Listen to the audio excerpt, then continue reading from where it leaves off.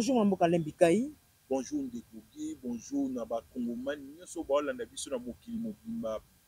Bonjour na ba surtout bandeko babengaka biso na Katanga mikolo mpe babengi mingi te bandeko ya mikili ya poto oyo wapi babengaka mpo to partage na bango makanisi oyo ba encouragea biso na mosala tosalaka na baoyo bapartageaka bato tozala bango na badivergence ya biso politike me babengaka mpo toso mpo bayebi keya makambo mboka so baobeta masolo ya mboka ata boza bopartage makanisi moko te me ebongaka bo privilégie dialogue mpo ya biso bose comprendre bokoza bose comprendre te mais le fait déjà ya kosolola ya kodiscute bokoki koarrive na kotrouve compromis Parce que biso tout tokozala yo na politique wana kan boye toi to partage osutenaka makanisi ya kan boye mais biso tout toselekona lokola ba congolais congo nde point commun na biso oyo esangisaka biso eya mabele ya congo yango wana nde omoni napesi ba congolais tout surtout ya diaspora bato ebele ya mboka na biso mpena napesi bango mbote na libota na ngai sans oublie Merci beaucoup mwana mboka Lembi Kaye. Tokende lombango olobi ke Congo nini esangisaka biso, soki mpe mabe ezali mpe mpe to denoncer mwana mboka Lembi Kaye. Bon, biso mabe bolamu mpe mingi ekufi okoma kaka to denoncer mabe. Kasi Faut mabe tolobela parce que mpe pa mboka bolamu. mpe mboka etambola malamu mwana Ya mboka Lembi tolobela Kaye. mpe bolamu, tolobela mpe ma- bolamu mingi. Ah. Avant Parce que denoncer pa- mpe pa- faut reconnaître mpe bolamu. Parce que vous venez de parler seulement de bien. Non, biso tout ça. ba Congolais mwana aza na dynamique te. Lelo omona comprendre ba Congolais bakoma oteka pays kaka na ndenge ya mabe image ya mabe ya mboka c'est-à-dire que na notre pays ya pas quelque chose de bon quand on veut parler du congo tolobi tobetaka lisolo na ndenge ya mabe pourquoi yoka bato oyo oh, mboka elengi ya bana okanisa congo mboka elengi eza mpona makambo ya bien bazamba bamaito wana yango mais c'est pour des fitite pour des bêtises nde congo mboka elengi mpe omoni moto ake na bamédia international avandi azoexplike ke bokongo mboka elengi eza mboka sentiment bato asaka makambo ya bona boye non nous devons vendre euh, l'image de notre pays la bonne image quand je dis la bonne image eza ka image ya mabe te parce que na moi biso ya kongo ekomi kasi olingo toyaka likambo ya kongo meme liboso ya bapaya okuta moto abandi oloba naye babetise te comme si awa bato ba malonga baza te ya rien na kongo lelo nde nazala compte na pourquoi pas kodenonce tosalaka yango deja na ba émission no mona makambo so mabe to dénoncer to bikeli ka bozo marché te bona to sa ba te mais so bola mu mingi faut ko encourager ba basi ya bola pour ko mema bano bazoya ba copier makambo ya malamu parce que koma lokola bato bakanisi soki tobeta masolo ya mabe mingi bato bakanisaki mabe nde yango na valeur alors que alors que eza ba euh, bantu valeur oyo wapi tokosala apologie nango te Naso nazwa na ba media bonani na oya mingi te pona kolobela mabe to kotalisa na kolobela mabe so ezali mais kolobela plus bolamu koto ezo manque Merci beaucoup na mboka la mbika avant tokuta na actualité ya mokolo lelo est-ce que vous êtes fier ndenge mboka ezo kotambola actuellement pamona mwa mwa mboka Afrika toi Tshisekedi Tshilombo naza fier naza fier parce que so moni kote touti na place oyo toa lelo quand vous dites que kote touti outa wapi mwana mboka eh nga na pesa ali c'est que da kote ba institution evandi yo kana ebisa mboka eza lokwa mboka vile to boye oza na mwana na adindi na libulu ndeko ozongi na ndako okuti babengi yo ndozo samtabu babengi okeyaka oke okuti mwana oke mwana adindi na kati ya libulu libulu wana kozala 20 mètre Papa mwana agangi papa fait quelque chose obwakeli ye esengo komi obenda ye mais mwana na ta soso okomi na 7 mètre lokola 13 mètre etikali mwana na eske so oyebisi eke eza calme deja na osala quelque chose lokola azaka na kati ya libulu aomona lokola papa na bango azosala eloko te mais papa asa abandi osala mosala azobenda ye mpo abimisa na kati ya libulu mais lokola aza na kati ya obscurité na kati ya nini aomonaka ke eh, ya rien mais fo biso bato tozosala pake so olingi olanda mwana mwana azoba papa bosala eloko te okotika babi te lokola azo reconnaître te botika ye alors ke aza na besoin ya aide na biso c'est ça la situation de notre pays ba effort ezali so nalobi ke congo nyonso yo marche bien non ba effort ezali ba avancee significative ezali mais beaucoup reste à faire si je vous dis que non eh, congo pasi eza te bato babio te wana kosi wana kozala mpena eh, nini juste na nga moko mpe te mais na congo ba effort faut koreconnaitre ba effort oyo eza fourni mpo na makambo oke liboso tu crois quand je te dis lokwa makambo olobi ke congo ezo marche tu sais que rébellion ya m23 ebazalaki so esami deux mois ata deux mois bazwi goma ba menace pe mosusu oyoki ke bukavu ekwei te mais depuis rebellion ebandi ça fait combien de temps oyo oh, goma ezokweya te et vous dites ça vous prenez ça lokola likambo ya moke likambo ya bona boye na niveau contexte mboka na biso ezali ce pays ezobandaki koappartenir na biso te bandeko effort mwana mboka félix tshisekedi est en train de faire c'est de récupérer ce pays mboka esekendaki biso ba congolais c'était comme si batimo déjà libulu babimisi biso na kati et notre sort était déjà scellé biso ba congolais tozana eloko baloko basu te et tshisekedi est venu et c'est une bonne opportunité une bonne occasion pour nous bana mboka ba vrai patriote ya kosaisir mpo na kofaire partie mpo na kobimisa mopaya libanda mboka na biso korekipere mboka na biso to atokozala olingi tshisekedi te mpo na makambo ya politike emsu mpo ya muluba to mpo bona boye mais mpo na congo mpo na congo ifu tokosa te totia maboko mpo na congo to récupere mabele tisekedi akoleka mais biso sikoyo congo est ce que congo fo totikaka bapai bazwa moi j'ai toujours dit c'est comme si toa na kati ya, ya, ya nani ya lopango ya famille nde tovanda na mapango ya famille yo ozalaka na studio moko boye ata place bolalaka mais partage ya mbongo wana esamaka bien te mais oyoki jour moko olamuki na ntongo bayebisi bino ke motu moko alingi abotwa bino lopango mais yo olobi aya abotwa na ye lopango yango daye kutu ngai na lopango nazwaka mbongo te nazwaka mbongo ya malonga te mais aloke yo mpe olalaka na kati ya lopango yango moto wana mpe baye koyebi biso bayebi biso bon ça va nga so naloka yo oza olingidi nazwa lopango oyo so naboto lopango oyo yo nakopesa ata studio banda kovanda mais eh, bandeko notuna lerese bakende yo kozala na opesa oka studio bo banda kovanda ondimi mpe olobi ah d'accord ngai boye c'est ça la situation mpe ya ba au niveau ba congolais inconscient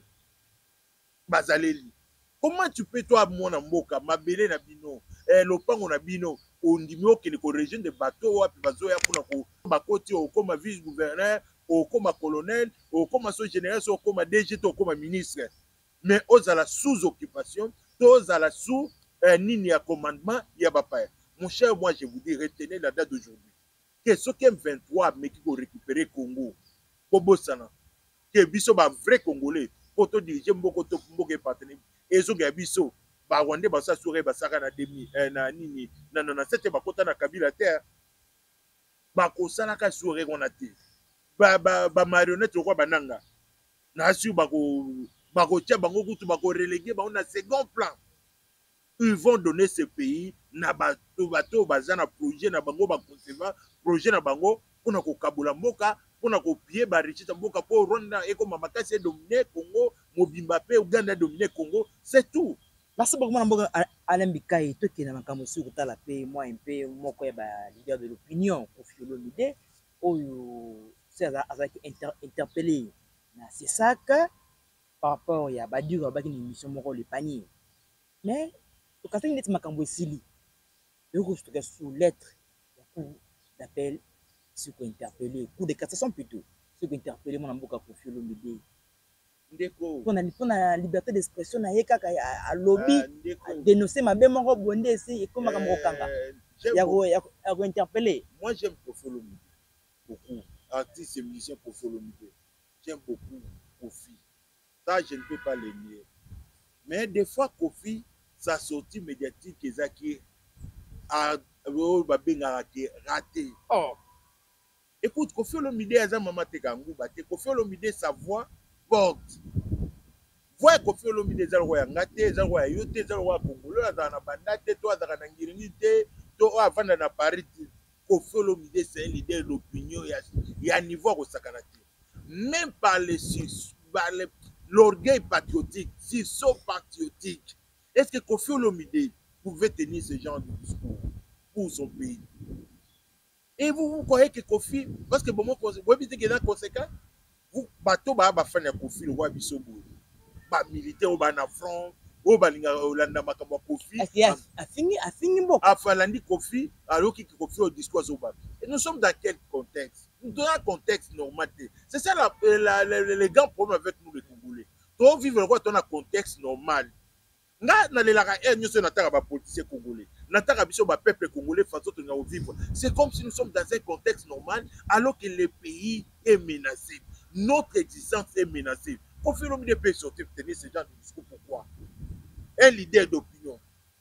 ya mboka mais kofiri yo nde yoka il est venu soutenir vous ça c'est un discours de mobilisateur maintenant maintenant le congolais batiaka loboko na mutu na na na loboko na mutu ezalaka nini kodenonse kodenonse nini batuerie Et écoute Kofi eloko Kofi angaka aloba yango wana. Kofi ne devait pas dénigrer eh, ata lokola moto awa dénigrer nos forces armées lokola kodenigre parce que abeti fale alakisa ke bazoya koboma biso me baoboma biso guerre eza te tina niveau koloba ke ministre ya défense yo so mwana ata ya guerre bachange ministre ya défense kofilomide c'est l'intellectuel m'a étonné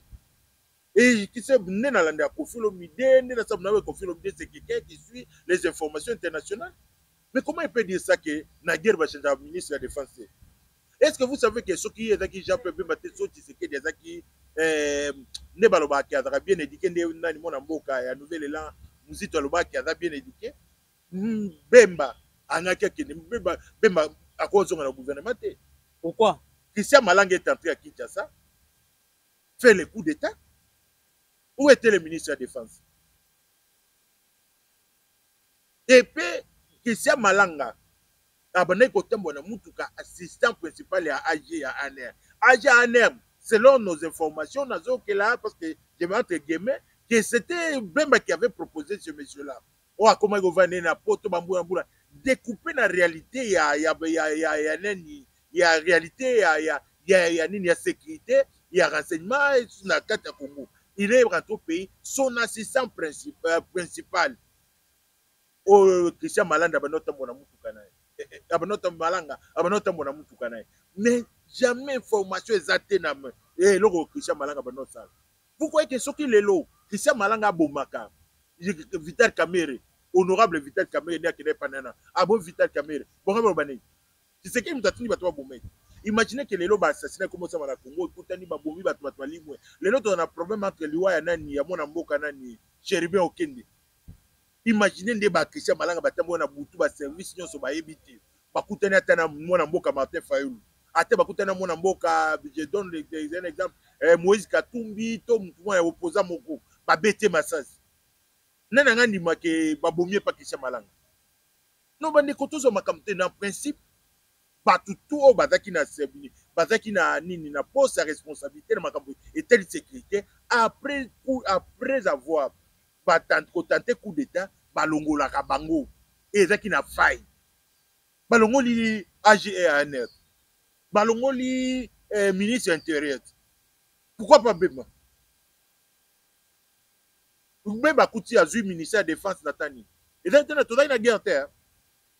mais ezali mpe mabe pourquoi kofi olomide aye kodénonce yango te voilà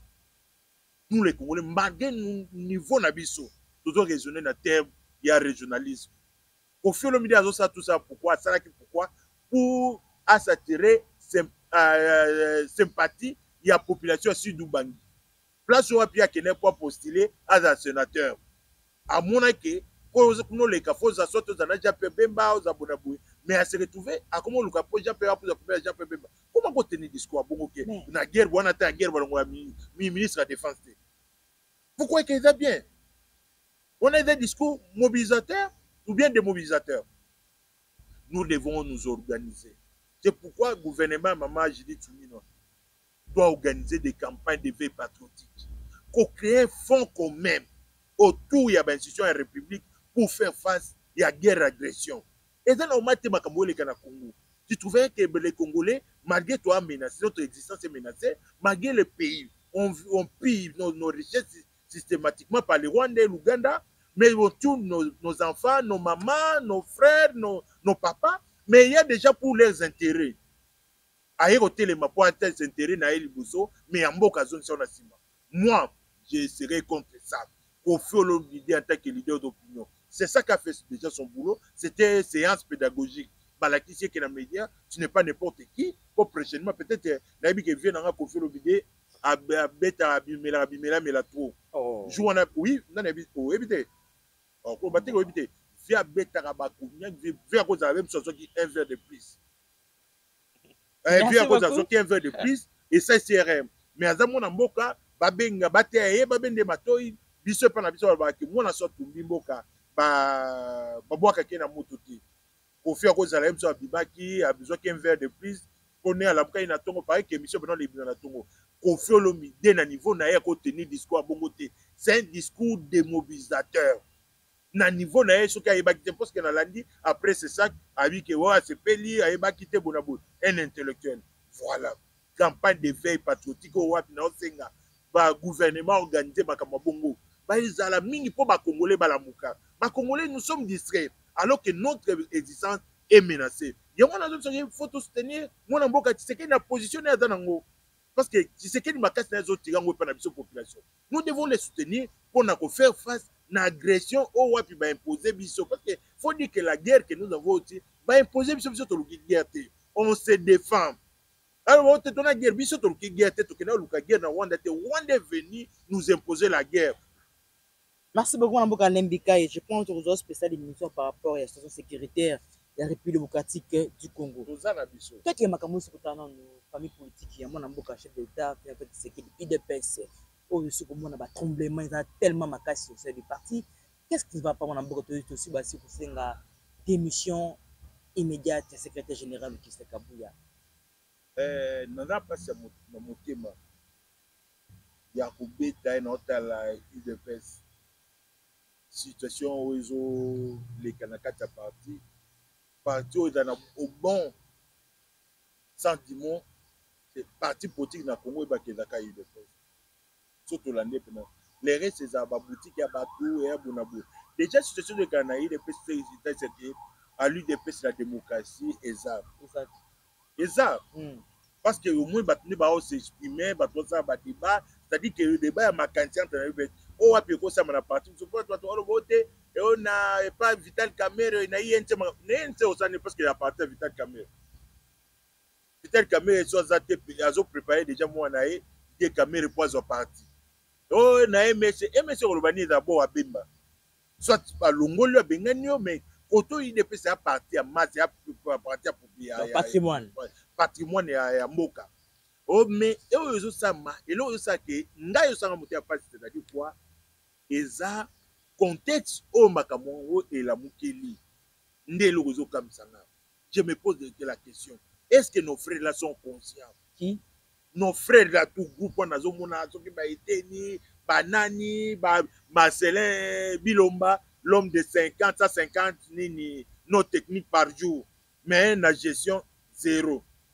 ndeko lokola nayoki birianzi mais derrière ça birianzi aleki na baministère ya agriculture gestion zero na soki na tour soki na pme soki na tour zero mais alingi mpo na parti mbongo tu bake kozwa baye basa mpo babundisa badestabilise parti voaka ata ba des gens de réclame convocation ya congrès mais congrès yaka bayaka te mpo na kolongola secrétaire général congrès elezaka mpo na kolongola président ya parti Parce que secrétaire général est nommé par euh, le président du parti. Donc, pour faire partie, le secrétaire général, c'est que congrès Kota, c'est le président qui doit décider. Mais tant que c'est un congrès Kota, c'est-à-dire que d'après moi, pour le président, c'est Parce que Baoto, c'est un congrès, c'est quoi Kalamini, c'est un ganayala. nga nazalaki lokola journaliste nazalaki wana découvert ezalaki parce que congrès fo ekota 5 e mpe nani akosenga congrès c'est pas n'importe qui olamuki na ntongo osali cdp presidence ya parti to nini ba président fédéraux baza soki deka soki nini o oh, euh, nini elobi mais bana mboka lokola ete longondo abimaki asenga congrès donc vous imaginez que na udps surtout son ata bien bato baderese eya bato oyo babandaki kozela baza baministre babima baministre babi baministre te mpe bato yango mpe lisusu repasse na bango ezo landa bango moto kwa eteni longondo imagine ke ovandi bo ndeko buto tuna ba congolais bana ma ya poto bovandi pena boyoki ke tisekedi ne gouvernement ebimi bo tisekedi azongisi eteni longondo ministre moto ana liberté provisoire est ce que eteni longondo asengaki aza azala ministre wana oh asenga te asenga te point mais azobunda point mais yalo ya bi azobunda point era idps chaque fois elona constate bo na na réfléchir bino mwana bino Bo banda bo tala chaque fois qu'il y a des nominations soit soit mouvement ya nomination na udps moto epelaka ezalaki vie wakwenda ezalaki jacquemain shabani ezalaki banani eh, kabund kabund bituma ya kabund ezalaki eh, poso batya impression basala chantage mpo bakota gouvernement to banome bango eh, so baleki so baleki bango banome bamandateur mobulu ebandi na idps ah non parti eza mal dirige parti bonaboye tokende pe tozo toke pe pai parce que mutu po bo juger mutu que parti a mal dirige to parti ezo kufa c'est par rapport au resultat mwana mboka nani eh, Augustin Kabuya akuti parti yana UDPS na election ya 2018 eza na combien de députés soki 30 soki 32 32 32 azali na bagouverneur kutu te to ye azwi parti bazwi bagouverneur aujourd'hui na okende élection tu sais ce qu'on disait que kabuya devant bahati lukwebo jean pierre bemba vital kamere bango to bana obenga bango bapoids lourd entre guillemets ongai abenga bango bapoids lourd entre guillemets kabuya ayebi nini kabuya aza nini même les membres les cadres ya idps batiaki bamoin tuke idps azwa eloko te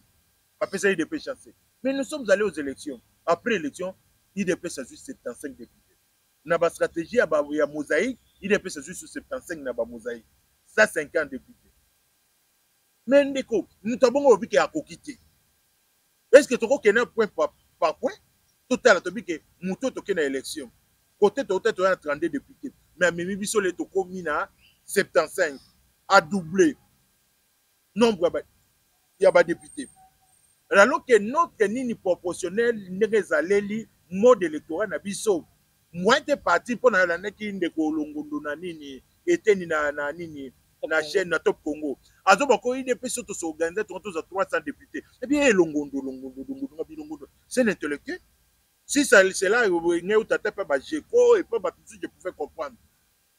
Bana oyo lokola mwana akoli, bana oyo mosusu baza mpo nayebi ke niveau na bango baa na niveau te ya kocomprendre kotanga bacomprendre makambo na mais ata eloba ke 300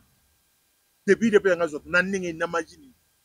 parce que na mboka na biso lwa ndenge ezaleli baparti nyonso fulu baparticipe eza pasi mpo parti moko azwa 250 plus un député mais tu trouve bato ya bongo tu vois que quelqu'un s'engage na lutte moko boye oyo azomaîtrise barouage nango te Parce que ye aza aza motive na ba intérêt égoïste na ba intérêt personnel lokola ase retrouve na gouvernement te lokola ye mosusu candidat ye abanda kosoutenir abimi te tisa moto okoyo abiba ababi secrétaire national soki na organisation ababi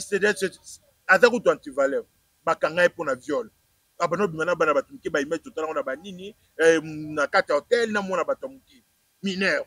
basali to abimi bababi na minute problème babundisa kabuya fo boexplike bato ye na national credit kabango bake kozwa mbongo ya mwasi moko na tanganyika 120 000 dollars babimisa ye ministre na maji nini ababi alingaki abimisa ye moto ayebi ke azalaka aproposaka baministre te akei kozwa mbongo ya mwasi wana 120 000 dollars mpo abimisa ministre na maji nini Lelo heure mwasi wana yako se plaindre sango ekomi epa Augustin Kabuya nde bitumba boyoki makambo ebimi ba bible fuite en avant po babanda ko ote biso tobundisa ababi tu sais comment ababi maltraiter les les fédéraux les présidents fédéraux aba beba nozo ba president fedele lokwa ba garçon mo soki oki na okatela bango mangala eh, na mate yo kana sisa pratique oyo kabu yo sala no ka federo ye abana osala makambo na nzoka nde ezali mpona kosali image ya ya CG kabuya ya kosalir image ya CG Kabuya mpo bato bayina CG Kabuya baye ko réussir mission na bango mais ababisela ingratitude nazoyebisa yo lokawa likambo CG Kabuya ce n'est pas aza saint te aza na balimite aza motu aza na badefaut na ye mais ngai nazoba siko contexte oyo tozaleli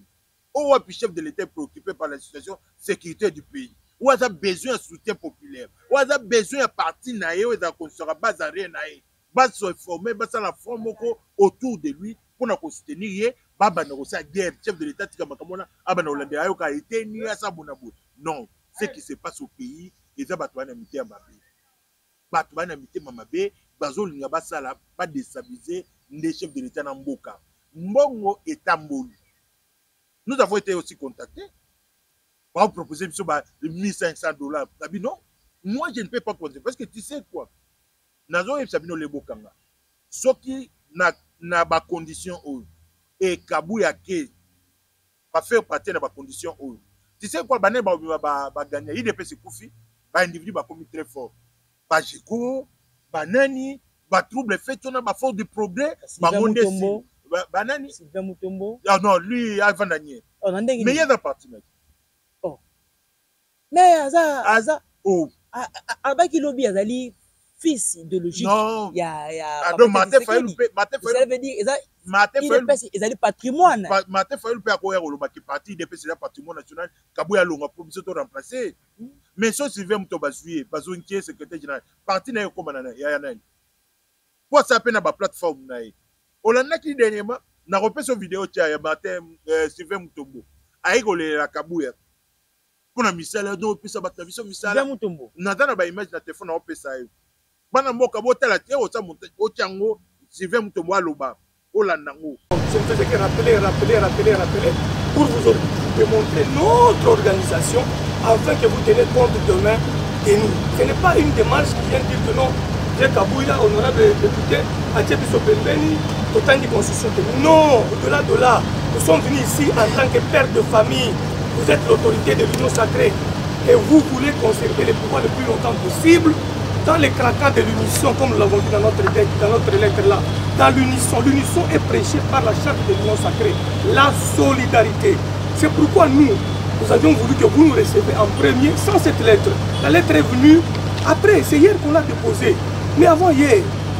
cher président, cher honorable, combien de fois nous avons sollicité cette audience sans cette lettre-là Nous avions voulu venir sans la lettre. Mais quand ça a pris du temps, on a dit, bon, le temps qu'il nous recevra, il va nous recevoir, il a beaucoup de, occupations. Néanmoins, qu'on exprime nos désiderata. c'est un politique qui va nous répondre. S'il ne sait pas nous donner quelque chose aujourd'hui, il peut même influencer que nous demain. Parce que ces gens ici doivent résister 5 ans encore pour maintenir leur parti, pour euh, soutenir encore le, prêt, président. si vous ne leur donnez pas quelque chose, Si vous ne donnez pas quelque chose, ils vont vivre comment Non, je vais vous dire. Voilà. ote kotala yo oza papa ya libota kolanda bona boye te bato bazwa misala basa bona boye problème na dote soki eza makambo ya parti te eza makambo ya otoi de là que je m'y mette eza kaka likambo kabuya yo olongwa biso to remplacer pourquoi kabuya et les gens oublient tous ces gens là nazo biso lokola bato mosusu namoni basigne na ba comment on appelle ça na nini basali compte ya, mm, ya koretire mm. commune ces gens là insulte bato lokola baseje kabwe ka félix ete encore eh, azalaki kutu ata président ya parti te ke babamikala président bato koservir tata te tokoservir na mwana mais aujourd'hui balingi bakoma ba, ba meilleur ou bien balakisa président ke bango bato balingi ye koleka bato bazala loyeux pa président de la république même quand il était encore secrétaire national bato bazalaki autour de na ye mpo basala kede akoma président ya, ya parti mais bato bana kosopoze bato kwa bapo cilumbu po cilumbu oyebi biso baimage po cilumbu nde aramasa félix e basala baélection mpona na congrès mpo moto akoma président ya parti oyoka makambo aloba na félix lui kutu ye atuna nga te na maloba na ye mais Marcelin Bilomba bato mosusu nde nayebi bato alobi yo te eh, olandi ba nationaux ce que j'aime position ya exécutif national ya, ya idps namoni ba bakoti na réunion balobani oyo bakolobana me balobi ke totali yango me tosi komona mpe kaka balobi bazo bapolicier balongi bateni bateni na nsima ya déclaration yango na baba me ya leno moto okoya nani irene kanta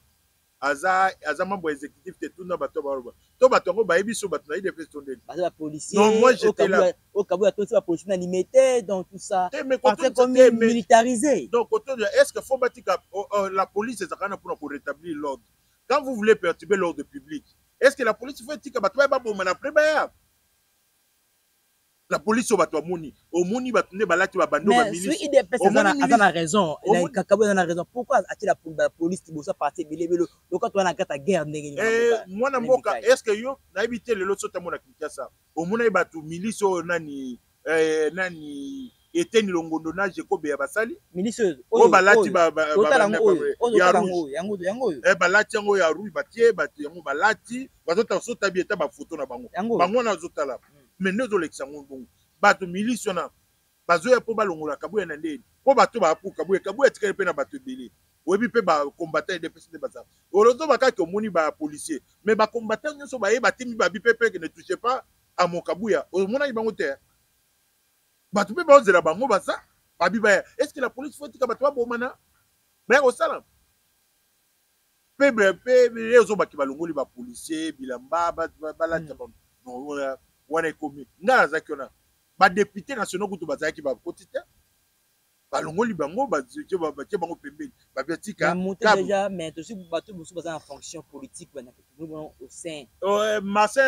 marcelin bilomba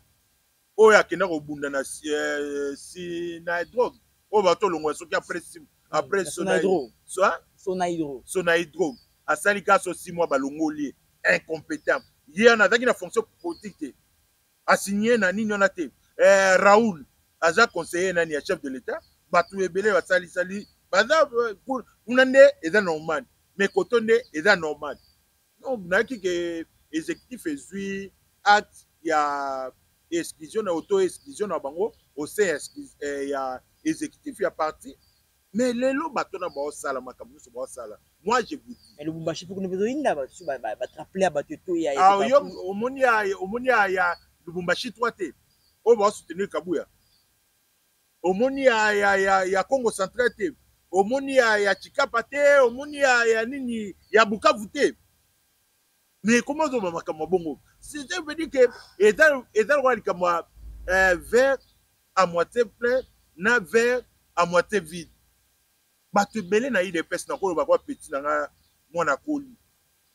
namoni mwana na atelemi alobi ke kabuya azofinga mpe azopesa cg bona boye nalelaki Mwana na sotali vu même niveau na intellectuel akoya kozwa mosala na OCC te. Oh. Je te dis, excusez-moi. Je te dis. Aza bango ba kumata batanga te. Batindie na batindie na OCC. Aya na bana quartier famille na bango tata mama batata mwasi banani na fanfare un bon matin naoleka na veni ya, ya, ya, ya cg kabuya nakutani na bato aye na fanfa aye kopesa merci mpo azwi mosala mais aujourd'hui namoni ya bio te cg apesa bato mosala te kaka na kati na bango estce eza obi suka eza nini te wana mpe kaka parti mutu bazwa mosala na occ mwana koli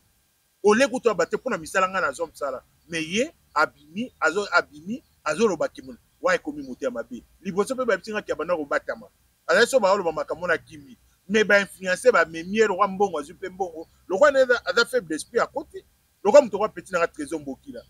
e eh, makambo ebandaki jumo na lekio nakutaki atemani liboso ya biro ya cg kabuya e eh, nayaki ye mpe abandi oloba mais c'est lui oyebi ke toso bika oyebi ke ye nde moto azalaka nani moto azalaka eh, initiateur to ye moto slogan na ye moto asala tosa kabuya obika mais lelo ye wana akatisi est ce que contexte ezosupprete mpona kosala makambo ya bongo ye bango na oloba chef de l'état ça je dois parler directement chef de dernière, dernière euh... ah, nazobana chef de l'état mon président je sais que vous êtes fils maison de l'udps udps eza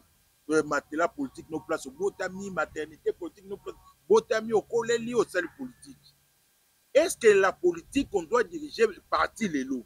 ekoma ke bato so balamuki na ntongo groupe moko ya baindividi balamuki na ntongo baseme kao badestabilise parti mpo bango baimpose mutu mutu oyo api parce que je crois se aloba ngo hier da prom na question yebisi cg ke apese bacob CG azoboya azonga kokota na mouvement na ye te yango nde likambo awela na CG c'est-à-dire que secrétaire général oyo wapi so kabu ya kemi ozwi secrétaire général mosusu otie ekozala kozala dirige na bajeko na bafo du progrès so balobi likambo ye alandi bango mais wapi bato yango pourquoi ba antivaleur ekomolinga ezwa place na kati ya udps Est ce que vous savez que combat oyo ezo ya mais ba ennemis na yo oyo balingaka ko controle union sacree bazo financer eh, ba batona po bayebi ke lowa kabuya ayebaki amaîtrise makambo nyonso ya union sacree ye moto aza ya la base nango boye na boye so ba alongwe la personne qui va venir bato wana bakodote ye bakozala likolo na ye bakoimpose ye nini na bango maintenant qui va perdre c'est toi le chef de l'état bien bango parce que bijeko akolinga bapesi ye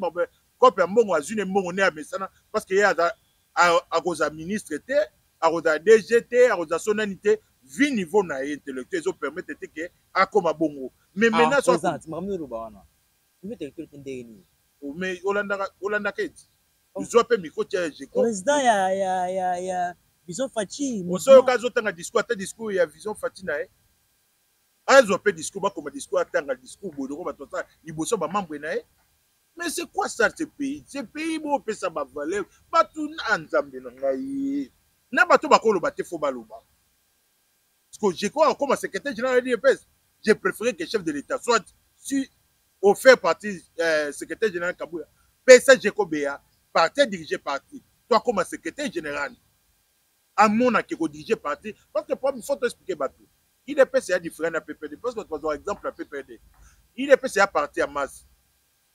PPD eza parti ya masse te. PPD na bike kota groupe mwa ata ya 100 personnes 200 personnes. Boyebani ke bozaka mouvement. Oyo kabuyo oza publicité ya ya PPD ba jeune ya PPD. Basali basali asala ba publicité na bango nini? Koloba ke Serge Kadima na Francis Kalombo atika ozwa atika ozwa poste ministériel te na temps ya PPD jeune. Mais ba na condition de vie ya bien. Condition de vie condition de vie ni bazali na yo bien. Qui t'a dit que bazali na condition de vie ya bien? Mais tu vas dire que lelo ba jeunes ya UDPS ba na ba conditions Amisi qui est président Makutano qui est président Ligue des jeunes ya ya, ya UDPS maintenant Yves Bunkulu waza président Ligue des jeunes ya ya UDPS ana ba conditions via mabe bolongoli emani botie euh... eh, c'est mon frère l'autre c'est ah non non ah ntambi na zupa tu sais que j'aime beaucoup sans flatter nalinga mwa mbalo na mingi emani mais emani chaque fois abi ke situation oyo azo traverse esaki aza bongo ba position na ye hasardeuse emani azwa problème parce que il était parti défendre kabund kabund qu'on avait déjà euh, fait ba décidé déjà ke akende ye kandi azala contre courant avec liba elati akende oleka na batop congo na bamédia mpo adefendre kabund mais après na nsima aye na parti nde eloko eza ke base se retrouve na position mais lelo lisusu c'est lui mouvement ye amemani alors que moto abandaki ko protéger se oyo azo combattre lelo parce qu'il y avait des gens qui disaient que Emani akokota ata na siège te akozala te mais c'est le secrétaire général qui a accepté même que Emani aya Emani baoboya bazopimele baobotole baopimele kiti na ba manifestation c'est le CG qui imposait que bapesa kiti Mais mania kesanga na baton na oyo oh, wapi babundisaki ye. Merci beaucoup ma Bogale. Parce que la fin, il me demande téléphone parce que oh, il a dernier mon autre. Euh, le mot de la fin na eza eza euh, boye Congo eleki nyonso. Toza na eloko te oyo eleki Congo. Namoni soki eloko toko chérir te. Soki eloko toko protéger lokola la République démocratique du Congo te.